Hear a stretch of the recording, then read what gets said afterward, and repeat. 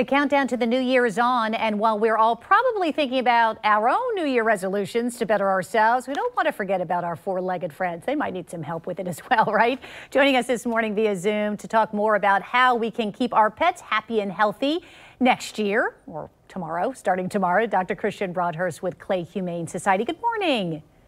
Morning. Thanks for having me on. Uh, so I think that this is important because, um, I, and I would like to mention, uh, you know, first and foremost also is, is that we see this every single year. I had some really good friends who had two of their dogs drown in their pool because they became so overwhelmed by the sound of the fireworks that the dogs just simply just didn't know what to do.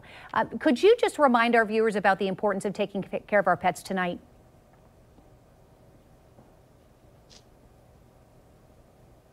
It certainly is something to be concerned about. Um, a lot of fireworks are going to go off tonight. A lot of.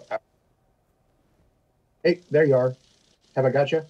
Yep, yep, we've got you now. Go ahead, Doc. No, uh, technical problems.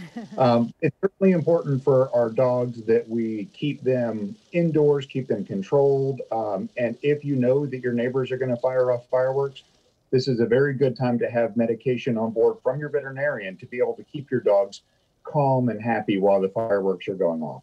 So as we think about how we can help our pets maybe get into a little shape or better shape uh, this year, what suggestions do you have? Well, it's all about diet and exercise, just like us. So it's good to keep exercising, get out there, be active, um, take your dogs for walks, take them to the dog park. It's also really important to feed them good food. We want to be sure that your dog is eating a well balanced um, diet that will, you know, not full of human food, not full of table scraps.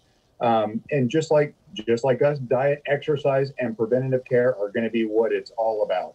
Um, if you have any concerns, you know, certainly talk to your vet. It's much better to have preventative care than it is to wait until your animal has a problem um, before getting it seen. You know, sometimes the food that you can purchase at the vet can be really expensive. Some people may not be able to afford that. Given that, when you walk down any kind of line at a pet store or a grocery store, it's overwhelming because there are so many options when it comes to choosing the right food. Do you have some suggestions? Are there certain things that we should look for in terms of ingredients? Yeah, certainly. Um, there are basically three tiers of food. There's the, you know, the bottom tier, which you want to try to avoid. Uh, those are the most affordable but often have the least good ingredients in there. There's the middle of the road foods, which are the ones you're probably most familiar with Purina Hills, Iams, Eukanuba. Um, you can find those at pretty much every pet store, and those are generally speaking very good brands of food to have. Then there are the top shelf foods, which are certainly the kind of boutique foods that are very good for dogs that have food allergies and things like that, but might be overkill and over expensive for your average run of the mill healthy house pet. And we want to remind also our viewers, you might think that grooming is really only if you have dogs that have long hair or cats for that matter, uh, but grooming can help them in other ways in terms of their health. Absolutely. Grooming is important for teeth. Grooming is important for claws.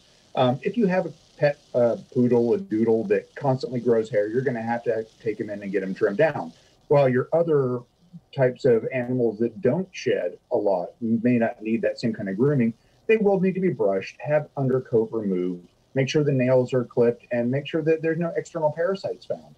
Um, a lot of groomers will do light dental cleaning, as in brushing the teeth, which is something you should certainly do at home. But they can also point out problems that you need to come see the veterinarian for more definitive treatment of. Dr. Christian Broadhurst, always appreciate your advice. Thank you. Have a great new year. Thanks. Happy New Year to you too.